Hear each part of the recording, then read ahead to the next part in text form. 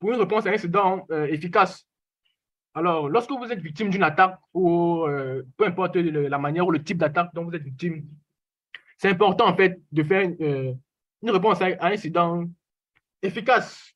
Donc, lorsqu'on fait de la cyber threat intelligence, on a un ensemble, collecte un ensemble de données ou d'informations, comme vous allez le voir tout à l'heure, qui nous permettent de répondre efficacement lorsqu'on a une attaque, lorsqu'on est victime d'un ransomware, par exemple. Je vais prendre le cas du ransomware WannaCry. Sur une plateforme, bon, on, va, on va revenir dessus tout à l'heure. Vous avez un ensemble d'informations qui peut vous permettre de remonter à la source lorsque vous êtes victime d'un ransomware, par exemple. Que ce soit sur des APT ou euh, peu importe le type de virus, un malware particulier. Vous avez, vous avez assez d'éléments pour pouvoir remonter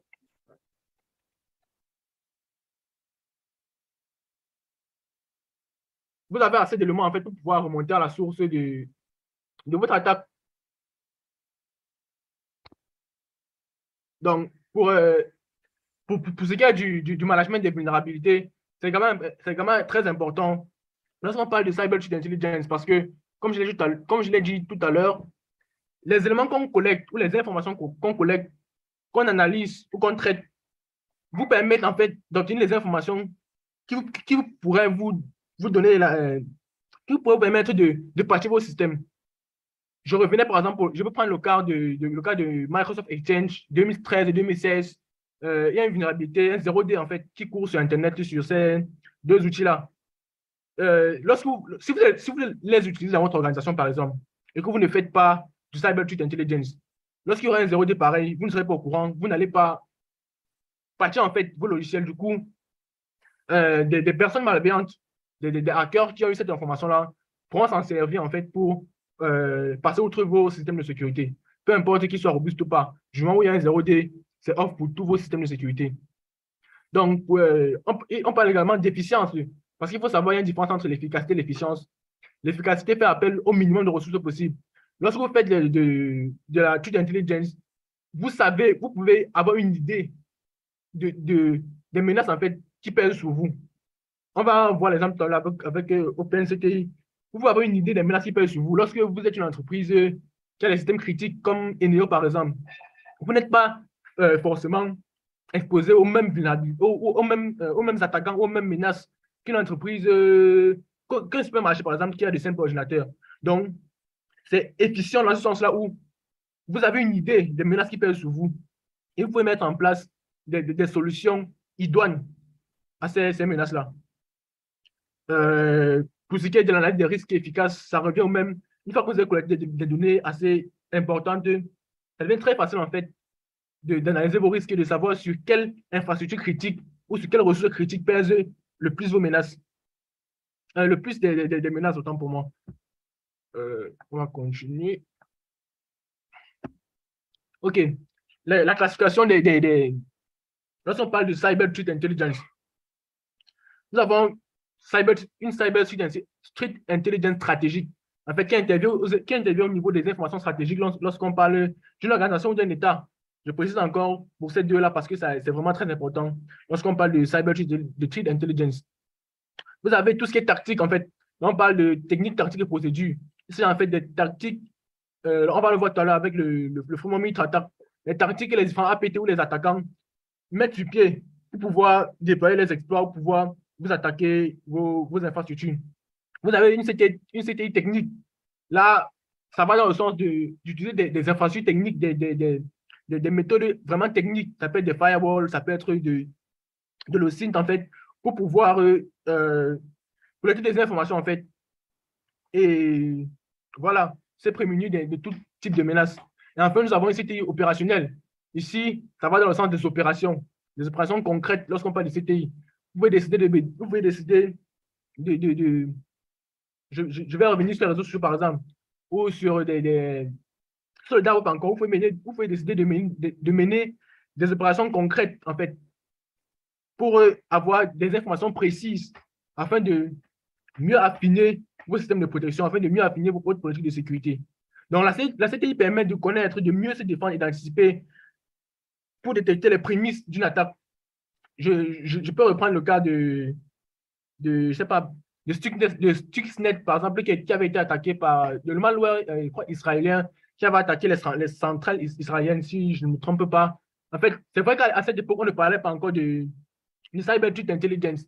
Mais je pense que s'ils avaient, pris le temps en fait d'analyser, s'ils avaient pris le temps en fait de, comprendre en fait les menaces qui pesaient sur l'infrastructure critique, ils n'allaient pas, être victimes banalement parce que je pense qu'à cette époque-là, on avait juste lancé des clés USB dans leurs locaux et puis des employés ont pris ces clés-là, ils ont branché sur leur système et c'est comme ça que les étrangers ont pris le contrôle de, leur centrale nucléaire. Donc, c'est vraiment important de, faire de la cyber intelligence pour pouvoir détecter, pouvoir euh, repérer en fait des, des, menaces, des malwares qui pèsent sur vos ressources ou vos informations critiques. OK, panorama autour de, la CTI. Alors, lorsqu'on parle de CTI couramment, euh, on confond généralement threat hunting, on parle du MISP, on parle du, du mitre attaque, on parle des indicateurs de compromission, mais sans toutefois comprendre en fait de quoi il en relève exactement. Donc, on va parler de ça tout à l'heure euh, dans, le, dans la diapo suivante. Moi, je crois que tout le monde, tout le monde sait ce qu'est une APT, Advanced Persistent Threat. Donc, cela peut être considéré comme une équipe ou un groupe d'un pays ou du même pays ou d'un pays étranger, en fait, qui s'engage dans des attaques ciblées à long terme contre des organisations. Donc, comme c'est dit, il s'agit ici des, des, en général des groupes d'individus, être des États, euh, des activistes, en fait, qui revendiquent une certaine cause et qui s'attaquent à des, des, pays, des organisations dans un but précis. Alors, on parle également de tactiques, techniques et procédures TTP. Donc, ils analysent le fonctionnement d'un acteur malveillant, décrivent comment les cyberattaquants orchestrent, exécutent et gèrent les attaques de manière opérationnelle. C'est-à-dire, comment est-ce que euh, un attaquant est passé, ou un, APT est passé du ciblage, de la reconnaissance, jusqu'à délivrer l'exploit dans le système, jusqu'à pouvoir persister dans le système. Donc, les tactiques, les techniques et procédures décrivent exactement ce processus-là. Alors, nous avons ce qu'on appelle des indicateurs de compromission. Alors, il s'agit des indices, des preuves en fait de fuite de données, à ne pas confondre avec des indicateurs d'attaque. Ici, qui sont des indices de preuves permettant de déterminer si une attaque a bien eu lieu. On va dire ça comme ça, pour ne pas euh, prolonger. Donc, si une attaque a bien eu lieu dans un système, et afin de pouvoir identifier les dommages, très, très souvent, on, on, confond les indicateurs de compromission et les indicateurs d'attaque. Donc, je vais rappeler, je vais dire, on parle d'indicateurs de compromission. Il s'agit des indices et des preuves qu'il y a eu fuite de données dans un système d'information. Parlons des, des indicateurs d'attaque. Il s'agit des preuves même à déterminer si une attaque en cours a eu, si une attaque a, véritablement lieu ou si elle est encore en cours. Alors, revenons, parlons du, du, du, du framework MITRE. Alors, vous pouvez voir la signification. Là, on revient sur les, les techniques, les tactiques et les, les couramment utilisées en fait. En fait, il s'agit d'une base de connaissances qui regroupe et permet aux, aux analystes, que ce soit du niveau 1 du niveau 2, d'analyser en fait des, des, des, groupes particuliers, des, des, malwares particuliers à travers les techniques, les tactiques que les attaquants ont utilisées. Donc, nous avons également le MISP, Malware Information Sharing Platform. Ici, il s'agit d'une plateforme qui présente de manière succincte les, indicateurs de compromission et d'attaque également. Donc, on va, on va revenir tout à l'heure. Nous avons la, la, norme, la norme STIX, qui est un langage structuré qui permet de décrire les informations sur les, sur les cybermenaces. Parce que vous allez vous rendre compte qu'aujourd'hui, lorsqu'on parle de cyber threat intelligence, il y a plusieurs plateformes qui le font, il y a plusieurs organisations qui le font. Donc, il falloir donc trouver un langage ou une norme qui permet de qui permet en fait que les, choses se, font de manière organisée. Je vais prendre l'exemple du, modèle OSI ou du modèle TCP/IP qui permet de faire en sorte que lorsqu'on parle de communication dans un réseau, elles se font de manière normée en fait, qui est norme qui régit cela. Donc, on va parler également du taxi, qui est un protocole pour des échanges sur renseignement cyber. Alors, le SIX et le taxi vont, généralement, vont généralement de pair. Donc, il s'agit des, éléments qui ont, été, qui ont été choisis comme normes, en fait, lorsqu'on parle de la Cyber Intelligence, pour pouvoir échanger des informations, par exemple. OK, Cyber Intelligence Tool. Donc là, je m'en vais vous présenter quelques outils. Comme je l'ai dit, lorsqu'on fait de la Cyber Intelligence, il n'y a pas d'outils par définition, en fait oui, vous pouvez utiliser plusieurs types d'outils. Donc, je vais, vais présenter ici deux, trois petits outils que l'on peut utiliser lorsqu'on fait la Cyber Intelligence. Euh, je vais commencer par euh, une seconde. Euh, bon. OK. Bon, là, je vais utiliser OpenCTI, en fait, via la plateforme TargMe que vous connaissez certainement tous. Donc, je vais utiliser l'infrastructure pour pouvoir présenter. Donc, je vais commencer par une, petite plateforme très simple, très sympa, qui est URL Scan. En fait, elle est très semblable à Netcraft ou encore WIS ou encore NSLOOKUP, mais sauf qu'elle va un peu plus en profondeur. Euh, je vais prendre un lien au hasard, euh, je ne sais pas. Hmm, on va prendre le, lien de ES Open Cyber Security, par exemple, que nous allons analyser tout de suite. Alors, nous lançons un scan public, euh, bon, CAPTCHA. Vélo, pardon. Alors, nous lançons un scan public.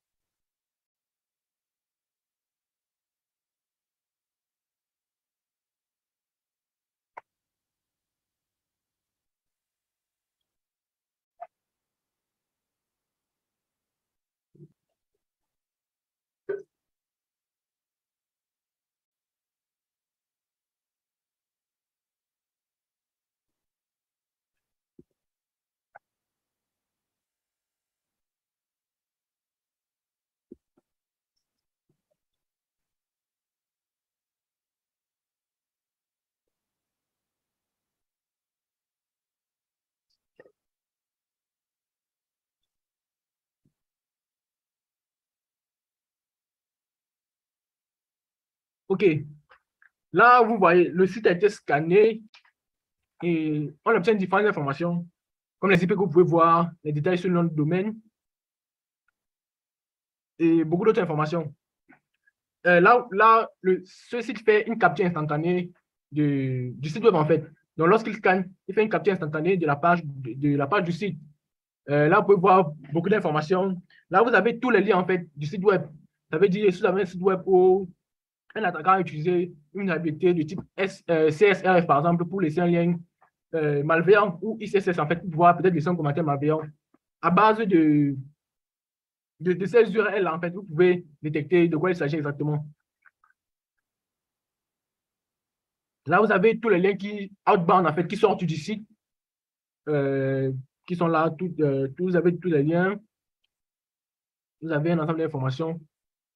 Et puis, en fait, c'est un peu ça, c'est un peu la particularité, c'est un peu la particularité de ce site web en fait. Donc il va aller, il va creuser en profondeur sur le site web, chercher des éléments qui peuvent être, qui peuvent euh, être utilisés en fait, qui peuvent être synonymes de, de, en fait, qui peuvent être compromis en fait, qui peuvent être compromis. Voilà, je pense le bon terme, qui peuvent être compromis. il va chercher toutes ces informations là, il vous les affiche.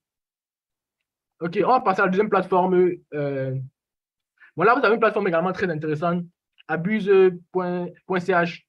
Alors, c'est une plateforme qui. C'est une plateforme en fait qui, à, à, base laquelle vous avez plusieurs, plusieurs autres plusieurs euh, applications en fait pour euh, faire par exemple de l'analyse de malware, de l'analyse de certificats, de l'analyse euh, sur les URL. On va, on va commencer par l'analyse malware par exemple.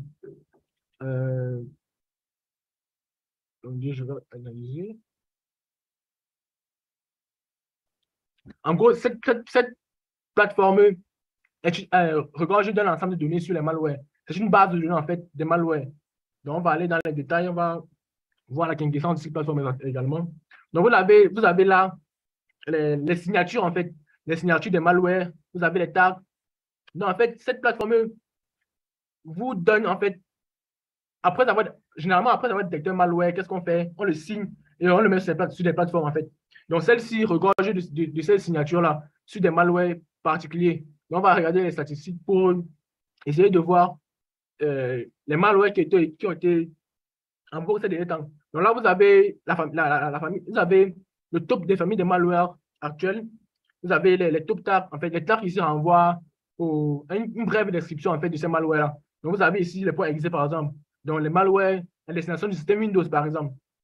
Donc, cette plateforme-là vous permet de faire une analyse euh, sur les malwares. Lorsque vous avez une signature, lorsque vous avez voilà, certaines informations sur les malware, vous pouvez venir ici pour l'analyser et voir sa quintessence, euh, euh, concrètement.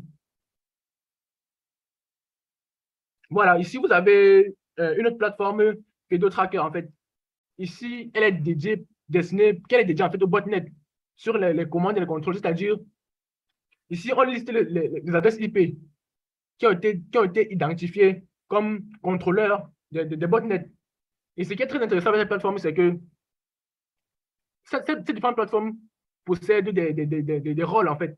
Des rôles, lorsqu'on parle de, d'IPS ou d'IDS, ils ont une base de, de rôles que vous pouvez ajouter directement à vos, à par exemple. C'est-à-dire, lorsqu'il lorsqu'il y a un nouveau malware, lorsqu'il y a euh, un nouveau APT ou une nouvelle machine qui a été identifiée, ou une IP, autant pour moi, qui, a, été, qui identifiée comme euh, commande et contrôleur d'un botnet. Dans cette base de données-là, vous pouvez, il y a des rôles que vous pouvez télécharger et ajouter directement à votre firewall. Ça peut être Snort, ça peut être Palo Alto, Palo Alto, ça peut être McAfee, ça peut être Suricata. Donc, c'est aussi l'avantage de cette plateforme-là. Je crois que euh, c'est un peu la particularité, contrairement peut-être à Abuse Total, qui permet d'analyser les hash, si je ne me trompe pas. Euh, il y a une autre plateforme aussi intéressante, SSL. En fait, ici, elle permet. Ça va tuer dans le sens des botnets, mais plus au niveau des, certificats. Lorsque vous allez, vous pouvez, avoir des certificats malveillants, en fait. Donc, cette, cette plateforme-là vous permet d'analyser les certificats. Donc là, vous avez également les hachés. Euh, Là, vous avez une liste de, certificats qui étaient blacklistés. Et là également, vous pouvez télécharger des rôles ou des règles, autant pour moi, des règles que vous pouvez ajouter à vos IPS, vos IDS. Là également, on a, des statistiques. Bon, je ne vais pas entrer en profondeur sur, ces, sur tous ces, ces, détails-là. Donc, vous avez les top listings en fonction des certificats. Euh, une autre plateforme, ça peut être euh, URL host. Donc, celle-ci est spécialisée en fait dans, dans le scan des, URL. Donc, si vous envoie une, une URL que vous soupçonnez, en fait, vous pouvez juste venir ici la tester. Euh, bon, là, bon, en fait, on va pas s'attarder là. Donc, comme j'ai dit, là, le, l'un des avantages en fait, de cette plateforme de, de, abus.ch, c'est qu'elle, non seulement elles ont des API comme toutes les autres plateformes, mais elles vous proposent des bases de rôles ou de règles, en fait, que vous pouvez, que vous pouvez, que vous pouvez directement télécharger et mettre dans votre, dans, dans votre, dans votre IPS. Du coup, si quelqu'un si qui, est à jour, en fait, un attaquant qui est à jour, euh, se dit qu'il va utiliser cette, vulnérabilité-là, 6.0D là, ou cette URL malveillante, en fait, pour, pour s'attaquer, vous êtes à jour, en fait, parce que vous avez utilisé cette plateforme-là pour pouvoir télécharger des rôles et leur, leur, ajouter dans, dans vos IPS. Euh, je vais revenir sur la présentation. Donc, en fait, là, c'est juste quelques plateformes. Il y a encore plusieurs plateformes comme des Hive que vous pouvez tester et plein d'autres, comme Yara, par exemple. Yara, spécialisé dans, l'analyse des malwares. C'est une plateforme très poussée, en fait, pour ce qui est de, l'analyse des malwares. Donc, voilà un peu quelques petits outils, en fait, qui vont vous aider lorsque, lorsque vous faites du, du, du, intelligence sur les malwares, sur les APT ou tout autre vecteur d'attaque, en fait, qui pourrait, qui est susceptible d'attaquer votre système. Donc, on va passer à OpenCTI proprement dit. Bon, OpenCT est un, outil de gestion et de partage de la connaissance en matière d'analyse de cybermenaces. Donc, quoi en fait, est un outil de cyber intelligence, que ce soit au niveau des malwares, des APT, des, infrastructures spécifiques, des États. Donc, il regorge un ensemble d'éléments et d'indicateurs de compromission pour, permettre une analyse proactive en fait des, cybermenaces. Donc, elle a été conçu par l'ANSI avec d'autres partenaires qu'on ne va pas citer ici. Donc, vous avez, là, vous avez un peu l'architecture de, d'OpenCTI. Bon, on ne va pas s'attarder là-dessus. En fait, ce qui est important de préciser ici, c'est que OpenCTI dispose de contrôleurs, en fait, qui lui permettent d'interagir ou d'être connecté avec des bases données publiques comme le MISP, comme le, le, MITRE, comme le MITRE, par exemple, ou encore euh, le, le, ou euh, d'autres plateformes, en fait, qui ont des informations sur des menaces, sur des, des, des, APT. Donc, il, il, il, il, dispose d'une panoplie de contrôleurs que vous pouvez, qui vous permet d'interagir avec cette plateforme-là.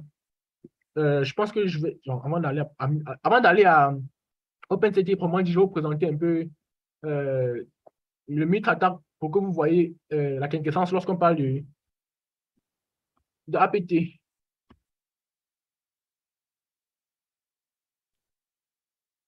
Euh, Ok, je crois, je crois que tout le monde, en fait, euh, la cyber culture, en fait, euh, liste, un ensemble d'étapes de, de, reconnaissance weaponization jusqu'à jusqu'à jusqu'à délivrer l'exploit ou le malware. Donc là, vous avez différents, euh, il peut dire, en fait, différents éléments en fait, qui vous permettent de faire une analyse poussée de malware. Ça peut être au niveau de la persistance, ça peut être au niveau de, l'exécution, ça peut être au niveau de l'accès initial. Là, vous avez différents groupes qui ont été identifiés. Donc, il y a l'APT38, je pense, l'APT chinois, nord-coréen, autant pour moi, qui, qui connaît pas mal de dégâts depuis, je crois, 2018 ou 2016. Donc là, faut avoir, là vous avez les techniques qu'ils ont utilisées. Vous avez les techniques qu'ils ont utilisées, vous avez du brute force, du, du keyboard data, euh, de données, data encryption for impact. Donc là, vous avez les différentes techniques qu'ils ont utilisées dans leur, dans leur processus d'attaque. Là, vous avez les outils en fait qu'ils ont utilisés. Software, Dark Comet euh, et consorts. Je vais prendre un autre groupe, l'APT40 ou 41. Mais l'APT41, je crois qu'il est aussi nord-coréen ou chinois. Donc, les APT qui ont, commis, commis pas mal de dégâts. Là, vous avez les, techniques qu'ils ont utilisées avec des détails. Vous avez les outils également. Je vais prendre un, euh, je un outil, par exemple, le phishing. Donc, il faisait beaucoup de phishing apparemment. On vous donne également des, éléments qui vous permettraient de, mitiger ces, attaques-là. Donc, on a identifié les techniques, on a identifié les techniques. Maintenant, on vous donne des, astuces, des éléments qui, vous permettraient de, mitiger cela. Là, on parle d'antivirus de malware. On parle de, network euh, intrusion prevention, donc de NIDS. On parle de, de, restrict malware base les, les, les, les, web, les, gateways euh, web, en fait, les, firewall web. Donc là, on vous donne des éléments qui ont permis à la détection. Donc, ça peut être des logs, ça peut être des, des, des, fichiers ou du trafic réseau qui ont été utilisés pour pouvoir détecter ces, ces APT-là. Et je, je, je, peux en prendre d'autres. Je peux en prendre d'autres APT. Donc, en fait, c'est, ce framework Mitre vous donne en fait un ensemble d'éléments qui vous permettent d'identifier des, des, des, des, attaques, des, groupes d'APT. Et c'est vraiment intéressant, c'est vraiment très intéressant. Vous avez également le MIS sur les, les, les malwares. Donc ici, ici on partage, il s'agit d'une grande base de données qui contient des, informations sur les, les, malwares. Euh, bon, là, il va falloir que je me connecte. Bon, en fait, on va donc, comme je disais tantôt, c'est une information, en fait, c'est une plateforme ou un, framework également qui vous donne un ensemble d'éléments sur les, indicateurs de compromission des malwares, par exemple, sur euh, les, indicateurs d'attaque, sur les, le type de malware, la famille de malware, la famille de malware auquel ça appartient, également sur des APT. Donc, c'est vraiment très, très, très, très important lorsqu'on fait du, du intelligence. Euh, bon, je vais passer à OpenCTI. Ça, ça a changé. Hmm. OK. Ok, là, je me suis connecté. En fait, lorsque vous connectez à OpenCTI, voilà, vous avez un ensemble d'informations sur le trafic, les, différents rapports, euh, tout ce qui est analysé. Donc, on voit CDF 24, il y a eu plus de 2000 rapports, le nombre d'identités, etc. Donc là, vous avez différentes analyses. Là, vous avez différentes analyses qui ont été faites depuis le 6 mai. Là, vous voyez que euh, le MITRA revient à chaque fois parce que c'est vraiment une plateforme très important lorsqu'on parle du cyber intelligence. Vous allez voir compte que beaucoup d'attaques, beaucoup d'analyses, autant pour moi, sont basées sur, ce framework-là, sur cet outil-là. Euh, on va aller à, l'observation. Là, c'est également très important. Donc là, vous avez des, des, des, artefacts, des, des, signatures de, de malware. Donc là, vous avez les indicateurs. Là, vous avez des indicateurs. Là, vous avez des infrastructures ciblées. Là, vous avez des, infrastructures. C'est vrai que je n'ai pas encore fait d'analyse là. Mais là, lorsque vous faites une analyse, euh, c'est vrai que ça va prendre un peu de temps. Lorsque, vous faites une analyse, vous remplissez en fait donc, en fonction des, informations que vous avez récoltées sur d'autres plateformes, en fonction des, des, informations que vous avez sur l'analyse que vous voulez faire en fait. Euh, cette plateforme corrèle les informations là. Euh, elle va fouiller des bases de données telles que le MIS, telles que le MIT pour vous donner d'amples informations sur euh, les indicateurs de compromission, par exemple, sur les, méthodes, les tactiques, les techniques utilisées par les, attaquants. Donc, au niveau, donc là, vous avez l'arsenal. Ici, en fait, vous avez tout ce qui est malware, tout ce qui est APT, tout ce qui est vecteur d'attaque proprement dit. Donc, on va, prendre, on va prendre le, le, le 4 HRAT Remote Access. Là, vous, avez la signature. J'ai parlé tout à l'heure du 6 ID. Donc, le 6 ID, le 6, en fait, c'est ce standard-là qui a été choisi, en fait, pour pouvoir euh, standardiser tout ce qui est euh, cyber intelligence, tout ce qui est euh, information, tout ce qui est partage d'informations, en fait, lorsqu'on parle du cyber intelligence. Là, vous avez un ensemble d'informations sur, sur, le, sur le sujet.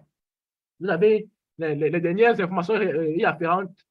Vous avez un ensemble d'informations, en fait, donc on ne peut pas tous les, tous les analyser. les modes opératoires. Lorsqu'on parle de la cyber culture, donc, là, vous voyez à quel niveau exactement ce malware intervient. Donc, ce malware, malware intervient au niveau de discovery, execution, au niveau de, de, de, de commande et contrôle. Donc, ça envoie un bon net. Euh, là, on avait des, des, indicateurs de compromission euh, qui concernent la, la menace.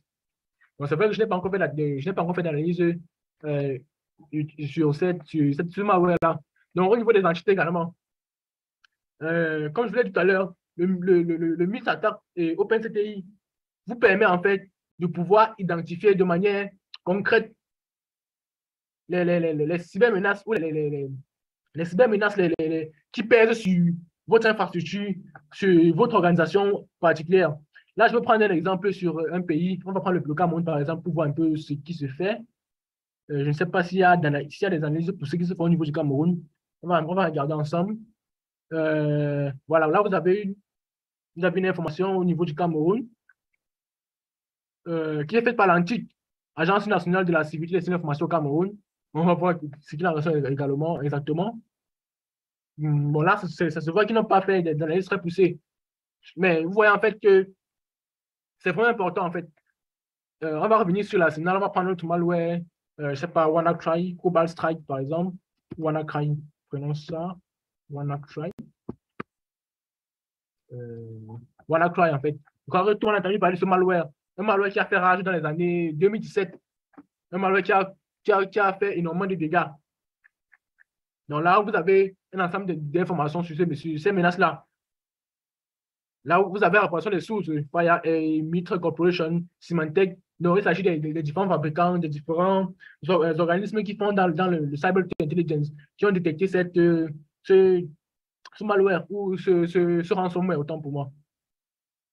Là, également, au niveau de, la cyber kill chain, vous voyez les, les, les, étapes en fait auxquelles ce malware intervient, ce ransomware intervient autant pour moi. Donc, au niveau des indicateurs de compromission, vous, vous avez, c'est juste que je n'ai pas encore fait je n'ai pas encore fait d'analyse euh, sur ce malware-là. Euh, on va là. Voilà, motif d'attaque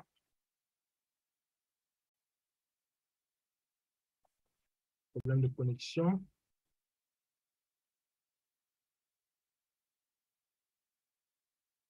Donc, en gros, on pourrait passer, on pourrait passer des heures à, on pourrait, on pourrait passer des, heures à, présenter cette plateforme-là.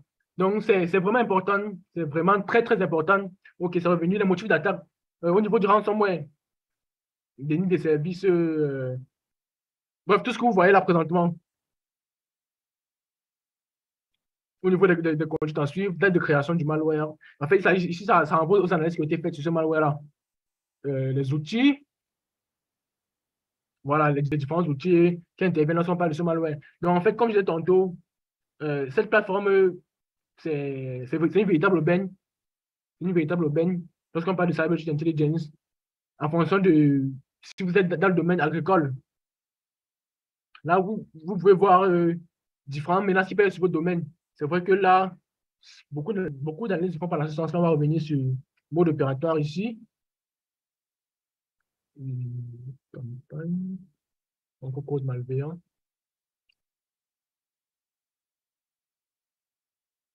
Alors, je ne sais pas si c'est un problème de connexion, détection.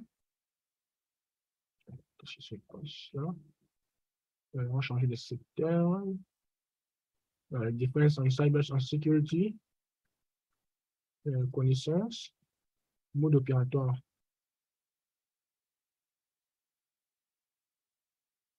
Qu'est-ce qui se... Ah, ok, ok. En fait, c'est au niveau du compte. Le compte, le compte track me ne permet pas de faire certaines choses. Mais sinon, en fait, au niveau des modes, des opératoires, ça, ça vous montre en fait les, tactiques, les, les, tactiques concrètes qui été utilisées par les, groupes ou des attaquants pour pouvoir performer ces attaques-là. Donc, en gros, cette plateforme est vraiment intéressante. Lorsqu'on parle de, Cyber Intelligence, c'est vraiment très intéressant. Elle, permet, en fait, en fait elle, elle corrèle, elle corrèle euh, toutes les, les, plateformes que j'ai présentées précédemment, comme euh, Abuse, SH, UL Scan. Donc ici, vous pouvez faire tellement de choses, tellement de choses. Euh, il y a une plateforme que j'ai oublié de présenter, je crois c'est Cisco Talos. Cisco. Cisco Talos. Cisco Talos qui est également très très importante, qui est également très efficace pour lorsqu'on parle d'analyse de malware. Euh, elle vous donne sur une carte, elle, vous présente les différents malwares, les différents attaques en fait, qui sont en train, de, se faire actuellement. Là, vous avez euh, pas là, vulnerability information, vulnerability report. Là, vous avez les, derniers reports, les derniers rapports euh, sur les menaces. Donc là, vous avez, euh, pour, tout, pour ce qui est 0D par exemple, vous avez euh, sur les infrastructures de, ce vous avez les 0D qui ont été découverts, euh, je crois, avant le 20, donc il y a ça 4 jours. pour tout ce qui est common, common vulnerability exposure, vous avez cette plateforme-là. Donc ici, tout ce qui est 0D, ou des, menaces récentes qui ont été découvertes en fait. Ici, vous avez une base de données à actualiser en fait de ces informations-là. Ici, vous pouvez également faire des scans de hash. Donc, euh, je, vais, je vais faire un truc simple. Je vais prendre un, hash sur euh, OpenCTI. Je vais prendre un hash sur OpenCTI et le scanner là. On, vous verra ensemble, on verra ensemble de, quoi il en relève euh, également. Exactement autant pour moi.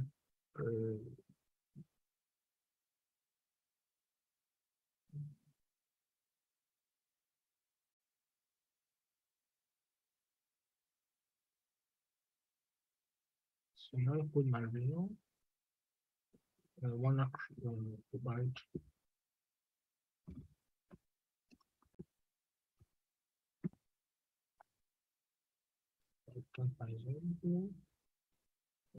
For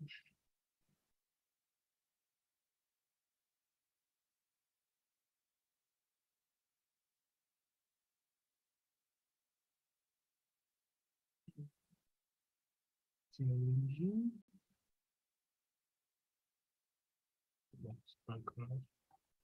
Une seconde. Bon. Euh,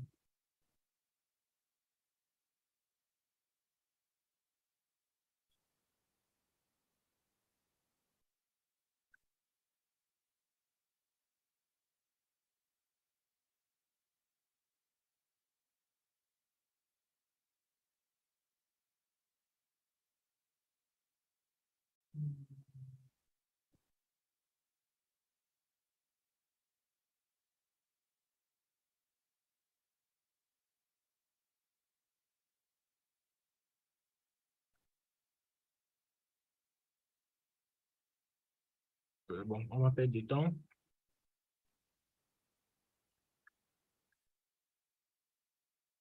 Euh, on va prendre H là par exemple.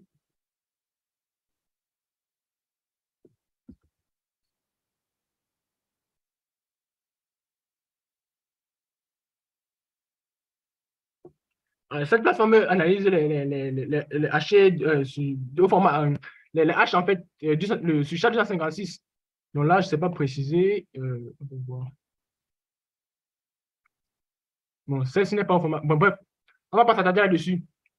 Cette plateforme euh, analyse en fait au, les, H au format SHA-256. Euh, bon, on va perdre de temps dessus. On va, on va conclure et s'il y a des questions là-dessus, on va revenir. Ce n'est pas un souci.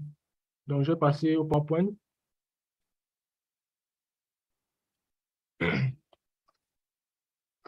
Ok, comme je, comme je l'ai dit, voilà présenté succinctement, euh, de manière résumée, en fait, euh, OpenCTI. C'est vrai qu'on a parcouru que les, les, les, les 5%, parce que OpenCTI permet vraiment de faire une analyse approfondie de tout ce qui est malware, de tout ce qui est APT, de tout ce qui est, tout ce qui est vecteur d'attaque, en fait, sur une infrastructure particulière, sur une entreprise particulière, sur un, pays, un État. Donc, voilà, euh, je pense que j'en ai terminé. Déjà, merci à tous ceux qui sont là. Merci de, de, de m'accorder votre temps. Donc, je vais passer la parole au, moniteur. S'il y a des questions ou des, des, suggestions ou des, remarques, en fait, euh, c'est la bienvenue. Donc, je passe la parole au moniteur.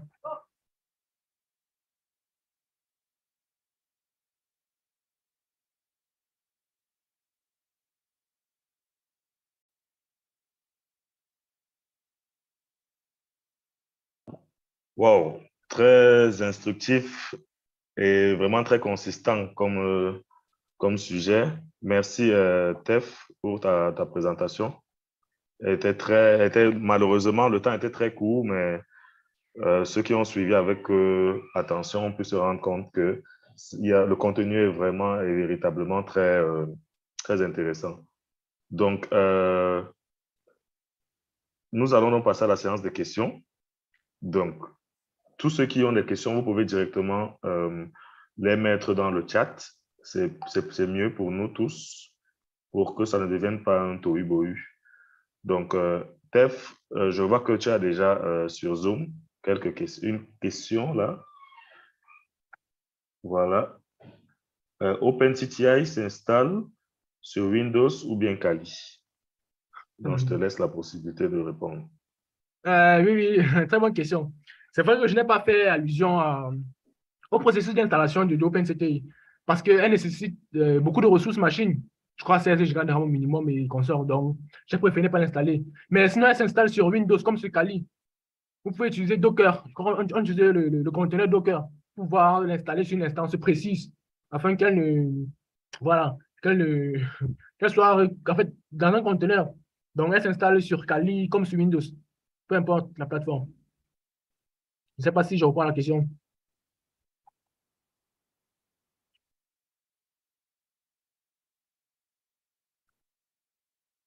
Alors, c'est notre... Il n'a pas mis son identité, mais apparemment, s'il n'a plus rien à dire, c'est certainement parce qu'il a compris. Donc, il y a un autre... Voilà une autre question. C'est quoi l'importance d'utilisation d'OpenCTI en cas d'une attaque? Alors, en cas d'une attaque, c'est-à-dire lorsque l'attaque est en cours, bien, bon, je vais essayer de, de brosser toutes les, les, hypothèses.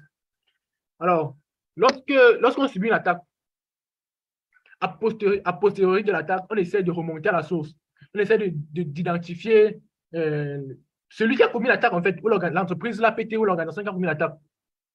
Donc là, on parle en général de, de, de forensics ou d'investigation numérique, ça se fait devant un tribunal. Mais lorsque nous sommes dans un cadre restreint, lorsque nous sommes dans une organisation particulière, lorsque nous, sommes dans un SOC, par exemple, on parle de réponse à un incident. Pour revenir au cas d'OpenCTI, comme je l'ai dit d'entrée de jeu, OpenCTI, c'est. En fait, c'était OpenCTI et les autres plateformes que j'ai présentées sont des outils de cyber intelligence, c'est-à-dire de, de cyber-renseignement sur des menaces. Maintenant, lorsque vous êtes attaqué proprement dit, c'est vrai, vous pouvez également utiliser les informations de cette plateforme-là pour pouvoir détecter euh, l'information qui est en cours, parce que euh, l'attaque est en cours. Parce que lorsqu'on parle de d'incident response, euh, je veux dire, ça, ça, aide également pour pouvoir stopper la propagation de la menace. Ça veut dire, prenons un cas simple et très banal même. Si nous sommes dans un réseau, le réseau d'une entreprise qui a six sous-réseaux, des VLAN, des consorts, lorsque le cœur du réseau est touché ou bien lorsque la DMZ est touchée, par exemple, on peut utiliser OpenCTI pour pouvoir, si on a détecté si on remarque qu'il y a une augmentation incomprise du trafic, par exemple, si on, remarque qu'il y a des, échanges qui se font vers l'extérieur, on peut, utiliser ces deux, ces, deux indicateurs de compromission-là pour faire des recherches dans OpenCTI et se rendre compte que, bon, il s'agit de, tel type d'attaque, de tel, de tel cybermenace, de, de, de tel type de malware. Et utiliser cette information-là pour pouvoir empêcher le malware de se propager. Donc, c'est dans ce sens-là que OpenCTI, par exemple, peut, aider à, lorsqu'on subit une attaque. Mais comme je l'ai dit euh, dans la présentation, OpenCTI intervient lorsqu'on met en place une approche proactive de protection, c'est-à-dire pour identifier les menaces, pour pouvoir identifier les 0D, pour pouvoir identifier les, les, menaces de manière objective, en fait, qui pèsent sur notre système, sur notre infrastructure ou sur notre organisation. Je ne sais pas si je reprends la question.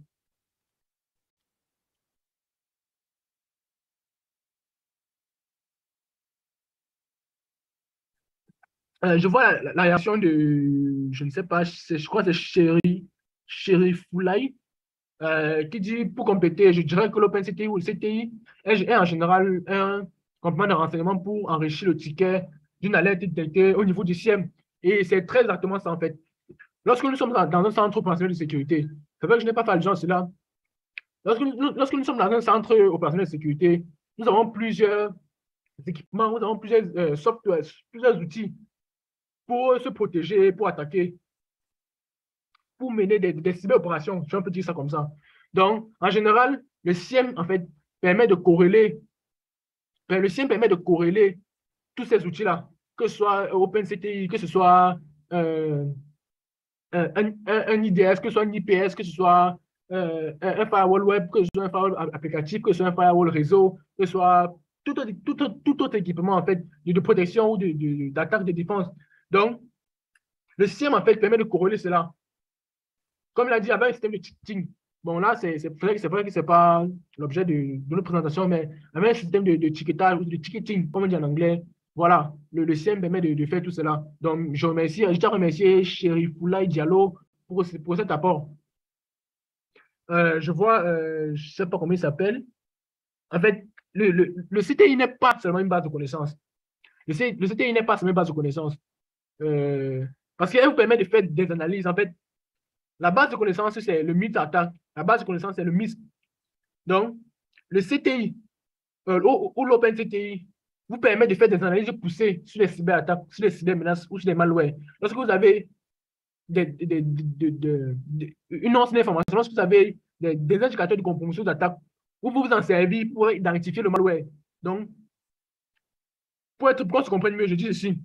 Lorsque vous avez détecté un indicateur de compromission ou un indicateur d'attaque précis, vous utilisez cela pour faire des analyses dans OpenCTI, pour avoir, pour pouvoir détecter l'APT ou le malware qui est utilisé en fait pour vous attaquer. Je ne sais pas si cette fois-ci c'est mieux compris.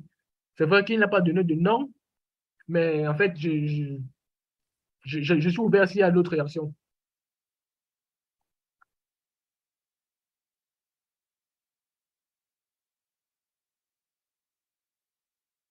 Ok, je, t'en prie, euh, c'est pas 061, 062, 063, il n'y a pas de nom. Donc, en gros, c'est un peu ça. Je ne sais pas s'il y a d'autres questions ou d'autres ajouts. Je remercie encore Sherif Foulay Diallo pour cet aspect extrêmement important que j'ai oublié.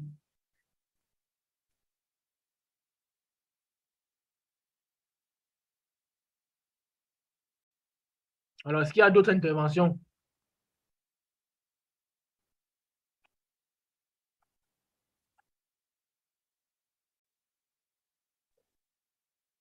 Oui, euh, Elberson, il y a quelques questions que je, vais te transférer là qui proviennent des, des autres réseaux sociaux. Mhm. Alors, un instant.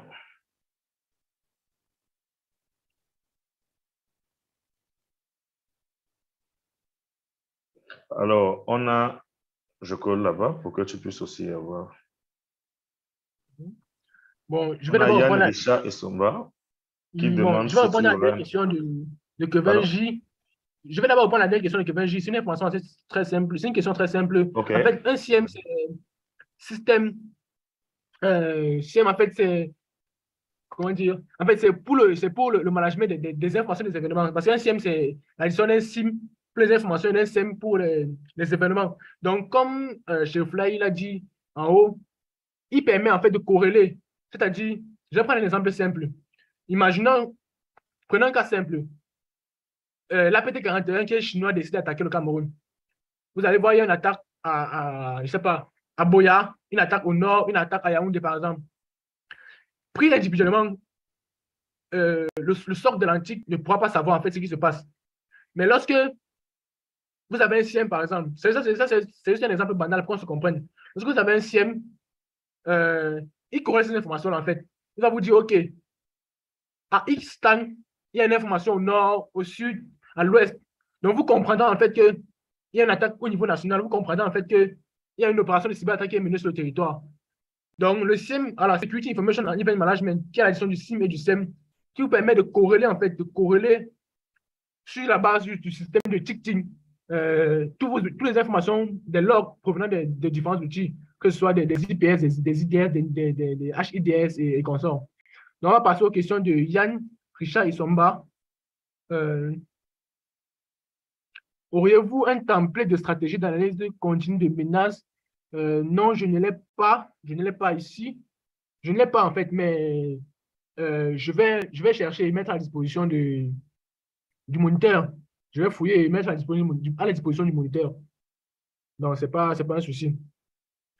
Est-il possible d'intégrer une telle stratégie à un processus DevSecOps?